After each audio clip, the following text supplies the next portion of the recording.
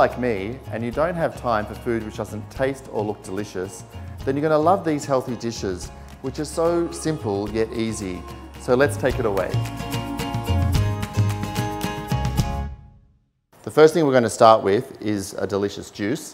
What I'm going to do is quickly put together my wonderful pomegranate juice. The first thing I'm going to juice is some pickled ginger. Japanese cucumber, no peeling needed.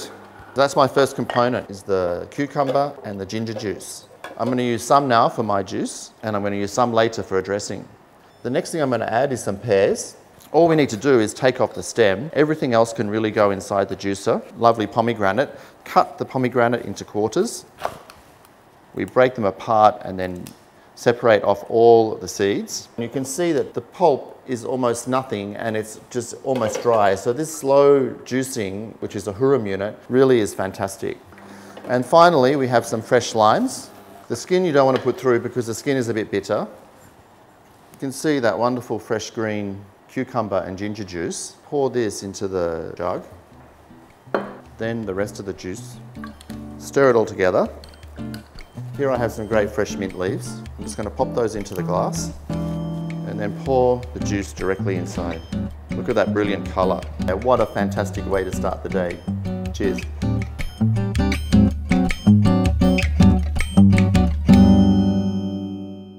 Now for my Japanese inspired salmon salad. As we all know, salmon is rich in omega-3 fatty acids and raw foods are great. So I've kept some of that cucumber and ginger juice from earlier, which is going to give a great punch of nutrients. Plus, it's just delicious. So the first thing I'm going to do is take my soba noodles and boil them. Just let the soba noodles boil for about three to five minutes. Plunging into the ice water, this will stop the cooking of the soba noodles. Here we have the salmon, very fresh as you can see. I'm going to cut this to three pieces. Gently remove the skin. Just sprinkle some sea salt over the salmon fillets. I'm using this corrugated Le Creuset pan. I need to get it extremely hot. What I'm doing here actually is searing the salmon to get a lot of flavour into the skin, nice and crispy. This is uh, seasonal uh, wild asparagus, uh, but you can use any type of asparagus. So earlier when I made the pomegranate juice, I retained some of the cucumber and ginger juice so actually I'm going to use some of this as the base of my dressing. And then I have some mirin, a few spoonfuls of mirin, some uh, Japanese Kikkoman's light soy sauce, cucumber, and then I just want to take some really nice fine ribbons. Just a little bit of red onion, very thinly sliced. Take a ripe avocado, scoop it out. For this salad, I'm going to add a generous handful of the edamames. And then I take the salmon, gently crumble the salmon into flakes. Then my onion, my cucumber ribbons. Just adding the dressing in like this. Then just very gently tossing it all together. Okay, we transfer to the bowl.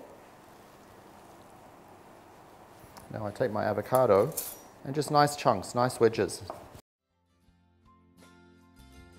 And then I just take a big mound of this wild asparagus, just very rustically and, and roughly. This is something I could eat right now. The soba noodles, the grilled salmon, the wild asparagus, the avocado so ripe and perfect. This is a wonderful healthy salad, really something quite delicious. Now we move on to my poached chicken salad. Must-haves, perfectly fresh chicken, organic carrots. And for this, I'm going to be using a low temperature cooking method, which is going to help keep my chicken very tender and moist. So firstly, we have some garlic bulbs, pink peppercorns, crunch with my fingers into the pot, some black peppercorns. I've got fresh bay leaves here, then some thyme. Just pour over about a litre and a half of water. Okay, whilst that is coming up to the simmer, I will take my chicken breasts, just peel off the skin. And I'm just going to leave those to very gently cook at a low temperature. Now we're going to move on to the carrots. Ideally get some very nice organic carrots because they have more flavour. The first part is I've got these muscatels here. Marinate with a little bit of cognac. Now we move on to the spices. So my pan now is getting nice and hot. I add the cumin, coriander seeds, and saffron. Giving that a couple of minutes in the pan, nice and toasted and crunchy. Crush these spices up. Very quickly peel the garlic, some fresh mint, and again I'm going to pound, peel the red onion, and then we're just going to quickly, quickly dice it. I'm actually going to cook the spices and the onions in this delicious French olive oil. And then I go on to my very next job, which is the carrots. Okay, so now the onions have softened. I add my spices, uh, muscatels, together with the brandy. I'm going to do a nice yogurt dressing. Here I have some Greek yogurt. I made the cucumber juice for the pomegranate juice, so I've reserved some of that cucumber juice, and now I'm adding it to the yogurt. The stock has cooled down, so I'm just gently going to remove the chicken. Now I'm going to make the carrot salad. So there we have the grated carrot. Here's that incredible spicy onion muscatel mixture. And then I'm just going to squeeze a lemon and then I'm using this incredible LeBlanc pistachio nut oil, sprinkle and crumble the sea salt flakes, some pepper, and then I nicely toss the salad. Very fresh and crunchy. So here I have my Kona almonds, just chop them roughly. I take my chicken breast, just take a nice big piece, chunk of my carrot salad. Now I arrange the chicken like this, sprinkling of the almonds, some mint leaves, and then my yogurt dressing. There it's done. Very simple, very quick, a wonderful light lunch. What could be better? Good food is always about finding the best and freshest ingredients. Today's recipes, so simple yet delicious, key on that journey of healthy eating.